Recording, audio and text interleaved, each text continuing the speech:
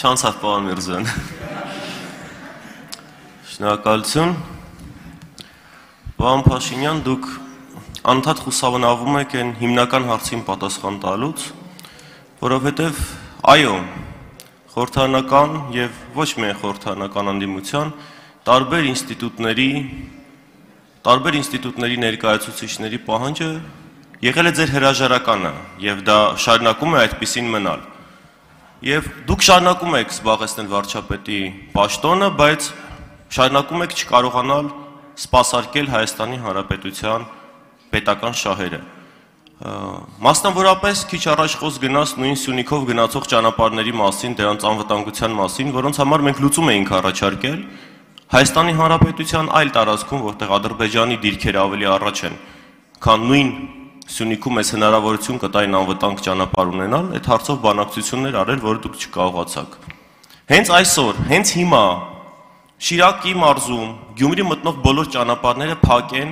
անհայտ կորածների եւ գերեվարվածների ընտանիքի անդամների կողմից, բայց որևէ արձագանք, որևէ լուսաբանում չկա այս ամեն ինչին։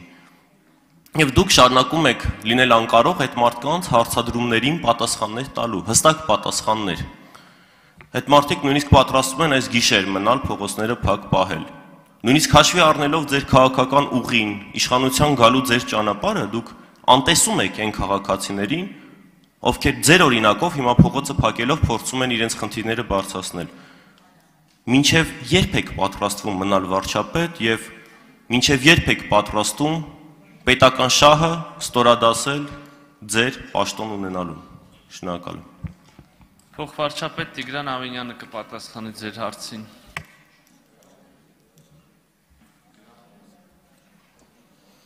Պարոն Գորգիսյան, շնորհակալություն հարցերի համար։ Կարծում եմ սահմանադրությամբ նախատեսված է եւ ընտրական օրենսգրքով նախատեսված է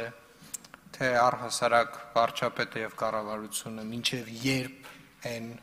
իրենց պաշտոններում եւ կարծում եմ այդ հարցի պատասխանը կարող է լինել կախված նաեւ ձեր խմբակցությունից, որովհետեւ բազմաթիվ անգամներ մեր այն առաջարկներին, որ եթե գտնում է խորհրդարանական ընդդիմությունը, որ կա քաղաքական ճգնաժամ երկրում, եւ այդ քաղաքական ճգնաժամը պետք է լուծել, մենք դրան առաջարկել ենք հստակ մեխանիզմ։ Ընտրություններ։ Ես չեմ հասկանում ինչու է այդ գաղափարը այդքան խորտ քաղաքական ընդդիմության համար, որովհետև ընտրությունների միջոցով պետք է ձևավորվի իշխանություն Եթե process-ները երևի կրկնվում են անընդհատ, բայց եթե process-ները ինչ որ քաղաքական խմբեր պատկերացնում են, որ սենյակներում պայմանավորվածությունների արդյունքում պետքա ձևավորեն նոր իշխանություն, տենց բան չի լինելու, պարոն Գորգիսյան։ Եկեք ֆիքսենք, վերջնականապես արձանագրենք, որ նման բան թույլ չենք տալու Եթե այս երկրում պետքա ձևավորվի իշխանություն, այս երկրում ձևավորվելու է ընտրությունների միջոցով։ Ինչ վերաբերում է ձեր բարձրաձայնած մնացյալ հարցերին, բոլոր հարցերին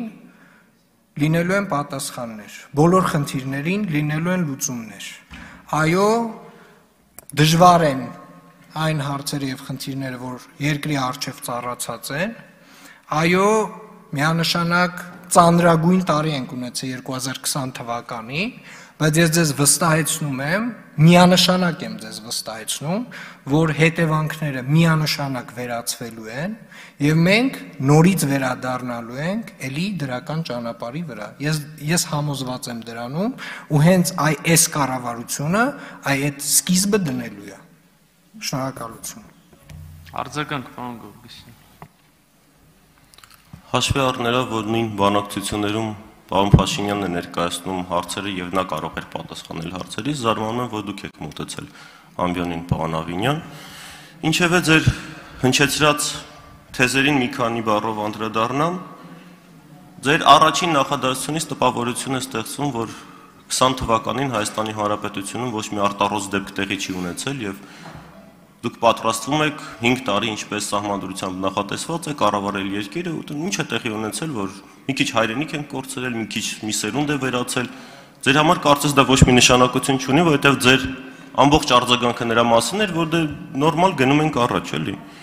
Ճգնաժամի լուծման մասին մենք միշտ հայտարարել ենք, որ այսօր էլ պատրաստ ենք ընտրություններին։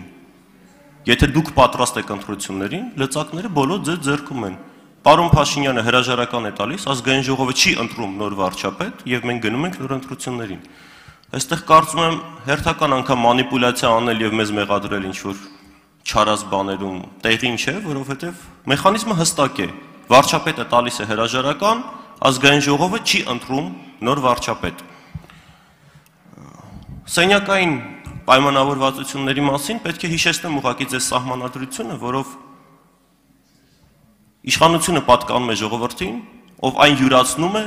ընտրությունների միջոցով, իրացնում է ընտրությունների միջոցով, այսինքն ընտրությունները ազգային ժողովի ընտրություններն էին